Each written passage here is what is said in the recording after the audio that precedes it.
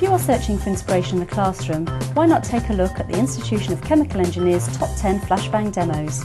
Produced as part of the Why Not Chem Eng campaign, they show that demonstrations can be fun, safe and relevant. They might even help enthuse your students to become the scientists and chemical engineers of the future. Guaranteed to make you laugh, at number 3 we have the flying cake cases.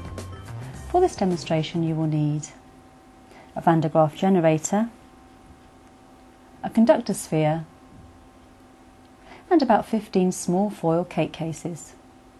For this demonstration you will need a volunteer who has very little or preferably no hair at all and he should be stood on a tray that is either wooden or plastic.